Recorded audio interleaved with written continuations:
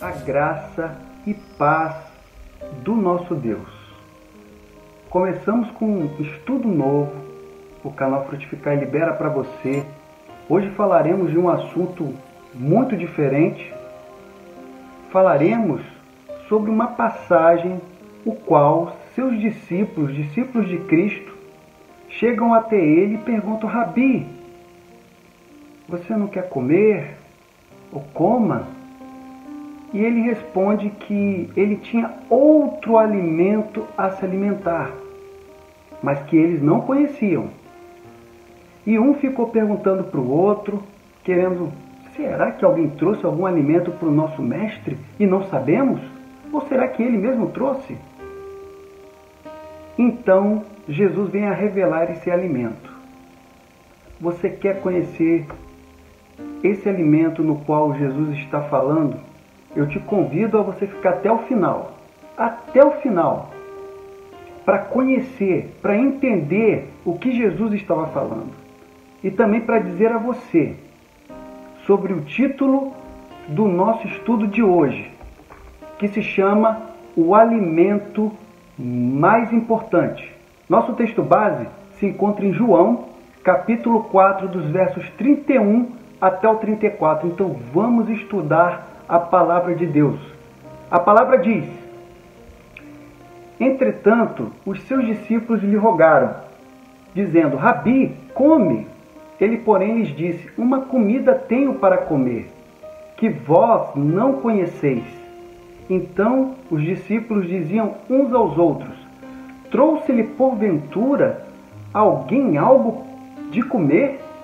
Jesus disse-lhes: A minha comida é fazer a vontade daquele que me enviou e realizar a sua obra. Esse é o canal Frutificai oficial, começando agora.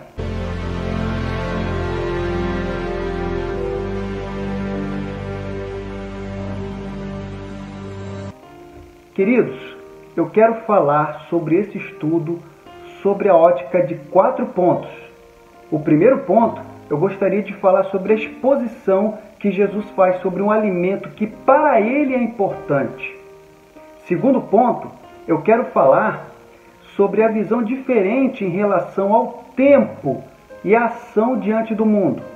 Terceiro, eu quero identificar o campo que está pronto para a ceifa. E em quarto lugar, eu quero falar sobre desempenhar o papel conforme a necessidade do campo que está pronto. Para a gente começar a falar sobre esse estudo, eu tenho que retroceder e tenho que retornar ao momento em que Jesus está falando com seus discípulos, mas anteriormente à passagem no qual Jesus estava na, na Judéia e os líderes religiosos começaram a saber que Cristo estava batizando mais do que João Batista. Sabendo, não sabendo eles, que a bem da verdade, quem batizava eram os discípulos de Cristo e não Jesus. Mas, no entanto, essa informação chegaram até eles. Jesus então resolve ir para Galiléia. Vou sintetizar, queridos. Ele poderia ter feito o mesmo caminho que todo judeu, porque quando saía da Judéia para a Galiléia, o caminho seria ir e fazer uma volta e não passar por Samaria. No entanto, a palavra ela diz que foi necessário o Senhor Jesus passar por Samaria. Todos conhecem a história, mas eu vou sintetizar para que a gente possa ter o um entendimento do porquê chegamos então à parte do alimento. Jesus encontra então aquela mulher e aí estava no momento em que era na parte da manhã até quase meio-dia, onde o sol no deserto era muito forte. Ele estava ali, então pede, através de um gesto simples, o Senhor Jesus pede água à mulher samaritana que logo fica um pouco suspeita, não entende? Primeiro porque ele era judeu e estava falando com ela, e judeu e samaritano não se falavam. Nesse estudo eu não vou tratar desse assunto porque não é o objetivo do estudo. mas existia essa cisma e essa barreira entre judeus e samaritanos. Eles não se falavam. Tanto que os judeus não faziam caminho por Samaria, eles andavam a mais para chegar até a Galiléia. No entanto, Cristo então pede água àquela mulher. Ela então vê dificuldade em atender, primeiro porque ela não entende, ele sendo judeu falando com ela e ela sendo mulher também, e ele expressando o seu a sua necessidade a ela. No entanto, com o desenrolar da conversa, ela vem a expor algumas coisas, e então Cristo vem a revelar a vida dela. Isso tudo está na Bíblia. Então ela identifica que ele poderia ser um profeta, um homem de Deus. Então, mediante isto, depois que ela constata que Jesus Cristo não era uma pessoa qualquer, acontece algo inexplicável, queridos. Acontece, queridos, algo maravilhoso, que vem a ser também o exemplo, porque afinal de contas, a atitude daquela mulher serve para exemplo nos dias de hoje. Vamos dizer, ela sai daquele momento, aquilo que era prioridade para ela naquela hora era tirar água do poço de Jacó.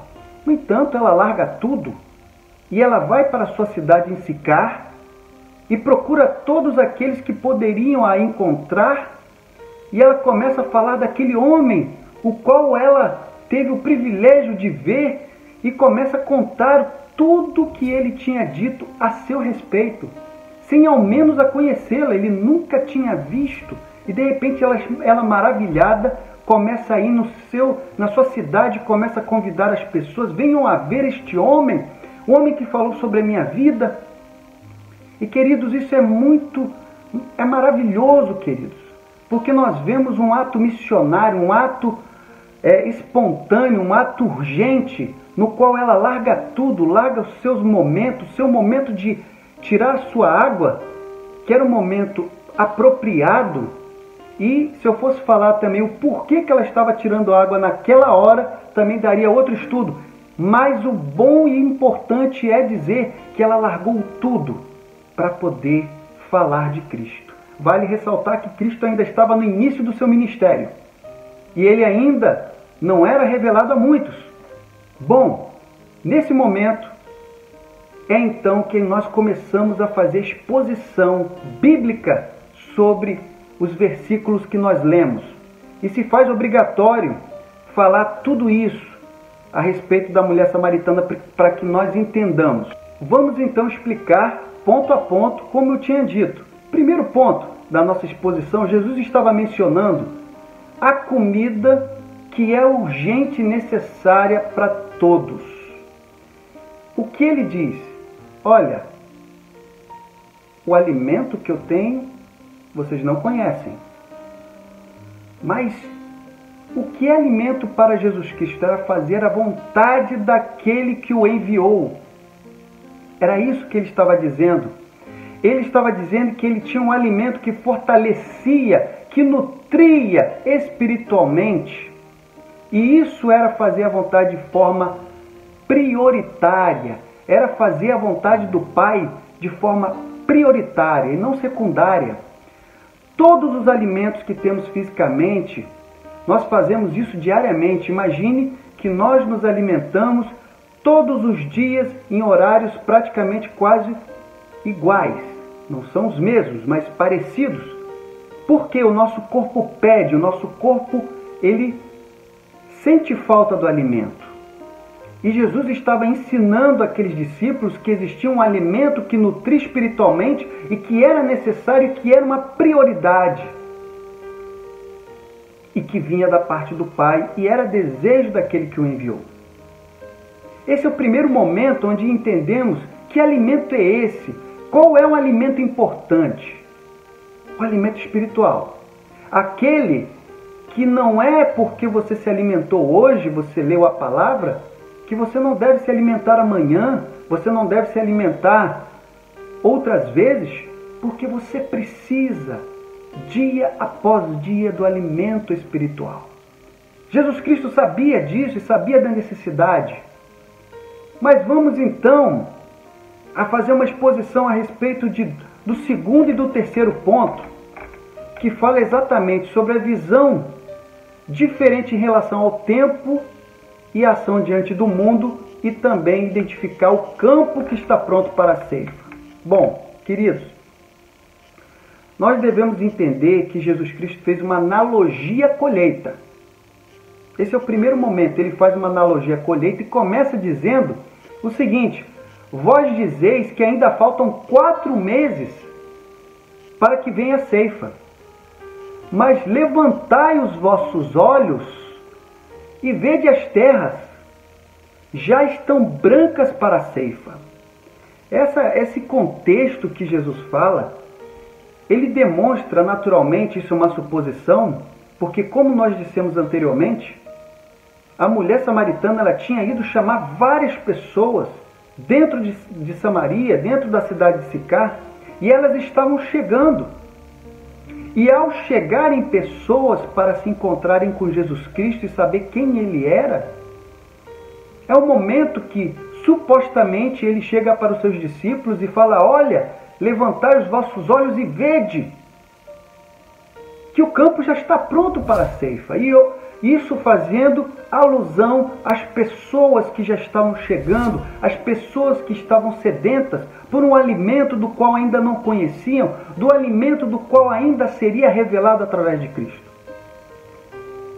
Então, queridos, o alimento é diferente. O campo demonstrado por Cristo também é diferente. Ele faz analogia da ceifa, fala sobre o período que é esperado para que venha então a fazer a ceifa. No entanto, ele diz: não, o campo já está pronto, o momento é agora. Levanta os seus olhos, mude o campo de visão, comece a elevar agora a sua vista e veja como o campo está pronto, preparado, perfeito para se trabalhar. Então, queridos, esse é o momento que nós falamos sobre essa ação que deve ser executada. Quantas não são as vezes em que eu não posso dizer por ti, meu querido, mas eu tenho certeza que quantas não foram as vezes que você já viu o coração pronto para receber a palavra de Deus? Quantas não foram as vezes que pessoas estavam com a sua mente aberta para receber uma palavra de Cristo? Mas será que você exerceu o papel de ali e enviar a palavra, o alimento, fornecer aquele alimento que Cristo tem lhe dado, para que essa pessoa pudesse ter o conhecimento daquele que te chamou das trevas para a maravilhosa, para a maravilhosa luz? Será que foi isso que aconteceu, querido? Não sei. Mas a grande verdade é que Jesus estava alertando seus discípulos que mudassem o seu conceito e que começassem a entender que era o momento, era chegada a hora em que o alimento deveria ser distribuído. O campo estava pronto para isso. Era o momento dos trabalhadores começarem a executar a sua tarefa.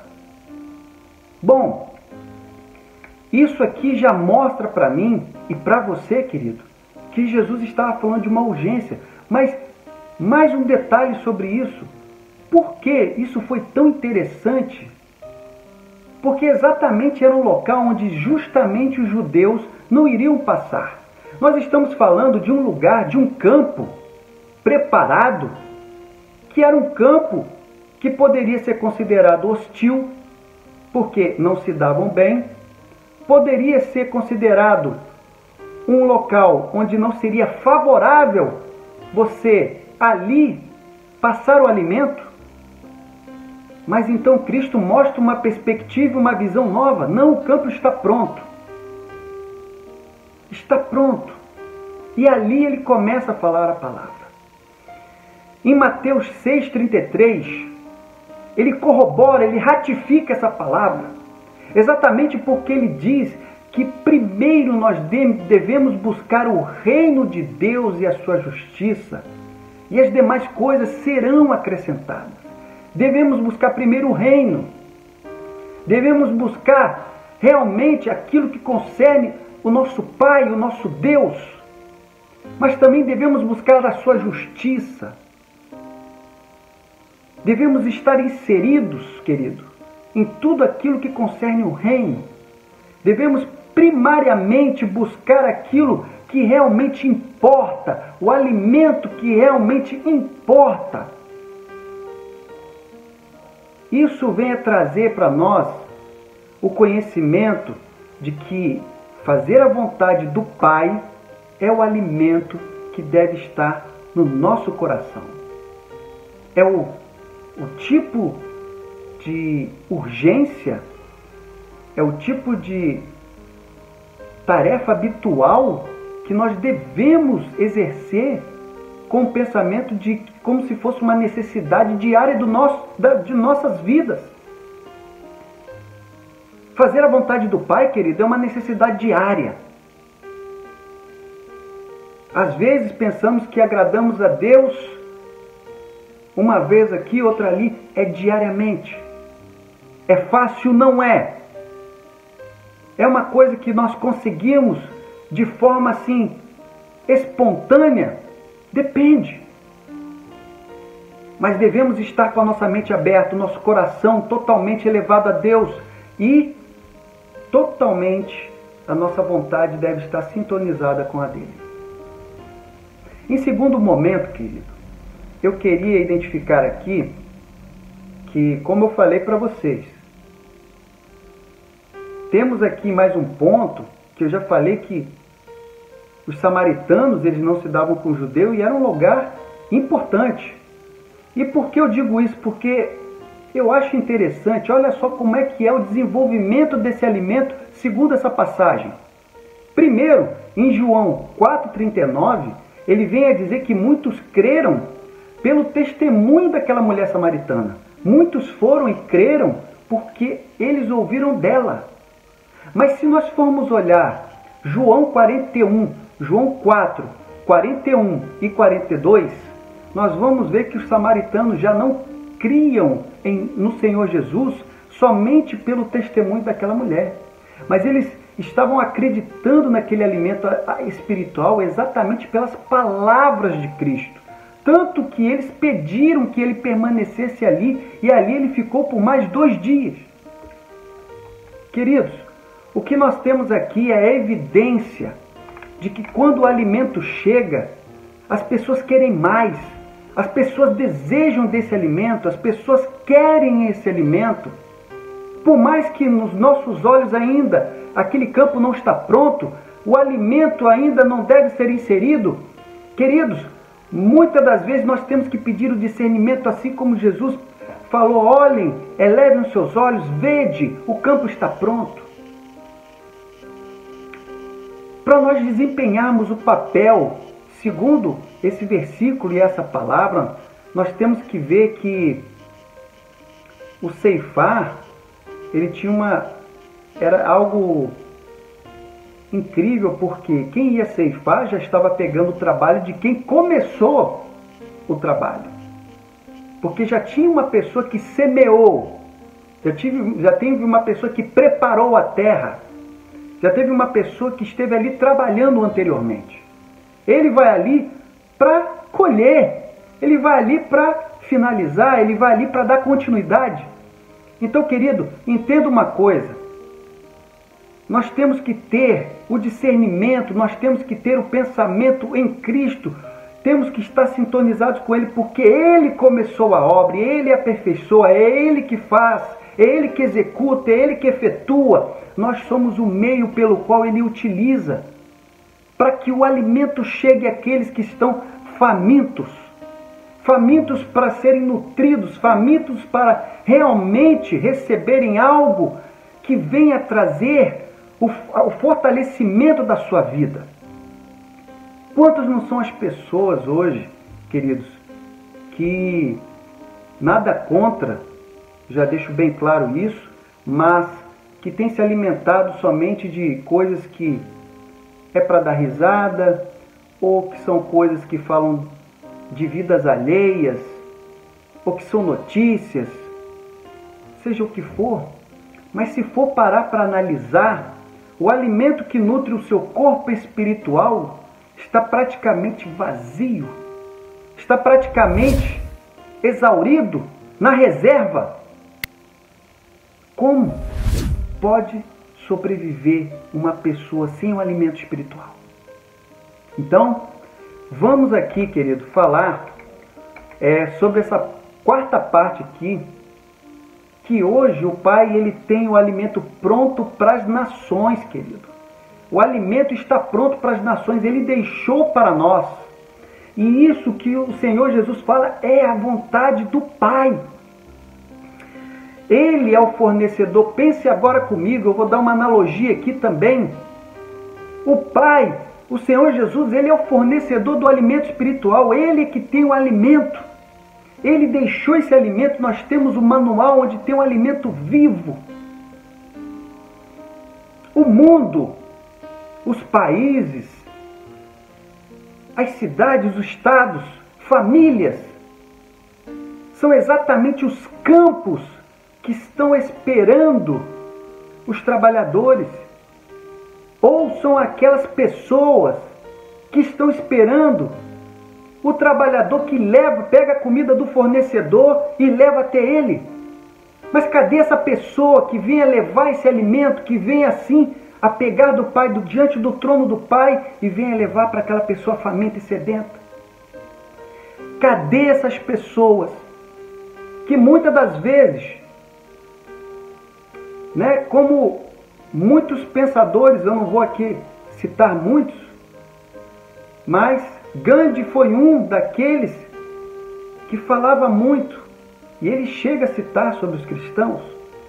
E sabemos que todo cristão prega o amor. E devemos entender, queridos, que levar o alimento àquele que não tem, ou aquele que não conhece, ou aquele que por uma incapacidade do seu do seu entendimento, porque ele não consegue entender, porque ele não consegue conceber que aquilo ali realmente é algo plausível, mas através do Senhor, do Espírito Santo, através da tua vida, você pode levar. E ele pode se alimentar, assim como Felipe fez com o eunuco, que não entendia a passagem no qual estava lendo, o alimento estava em sua mão, mas ele não entendia. Felipe então revela o que estava ali. Tanto que aquele eunuco, na mesma hora, deseja que fosse executado o batismo, porque havia pressa, havia urgência, havia um momento que ele queria, eu quero participar disto. Queridos, o momento hoje é urgente. Eu não estou querendo dizer que é hoje, é amanhã, eu estou querendo dizer agora. Cristo tem muitos trabalhadores aqui no mundo, muitos trabalhadores dentro da igreja. E eu não, não estou querendo dizer sobre cargos, eu estou querendo dizer servos do Senhor. Você se considera um trabalhador de Deus? Então, meu querido, eleve os seus olhos Comece a olhar o campo, comece a olhar dentro da sua família, comece a olhar dentro da sua vizinhança, comece a olhar dentro do trabalho, comece a olhar dentro da comunidade, de tudo que você puder e veja. Porque com certeza o Senhor lhe dará o suporte para que você possa entregar o alimento espiritual para essas pessoas que hoje praticamente clamam praticamente imploram para que possam conhecer, para que possam entender, para que possam ter o privilégio de se alimentar espiritualmente. Muitos ainda não sabem disso porque ainda estão no tempo da falta do conhecimento. Mas nós temos esse momento e é por isso que o canal Frutificai ele continua na sua missão. A missão é levar a palavra aonde for necessário, aonde Deus permitir. Por isso que é importante você, meu querido, ajudar também. Por isso que é importante você se inscrever, você compartilhar, porque isso é alimento. E o que o Senhor Jesus diz é o que eu entendo. O alimento importante é fazer a vontade do Pai, daquele que me chamou das trevas para a sua maravilhosa luz. Por isso que eu quero dizer para ti que hoje, com certeza, mais uma vez, eu clamo, não nos omitamos, não venhamos a nos esconder, venhamos a revelar, a entregar o alimento, a vontade do Pai, o alimento sólido, poderoso, espiritual, glorioso da parte do Pai. E assim, venhamos deixar que o Espírito Santo venha trabalhar nas vidas, alimentá-las, trazê-las e fazer com que novas criaturas venham a surgir no meio de todos nós. Que a paz do Senhor abençoe a tua vida e que o Senhor lhe dê cada dia mais o alimento necessário. Dai vós de comer aos pequeninos. Deus vos abençoe em nome de Jesus.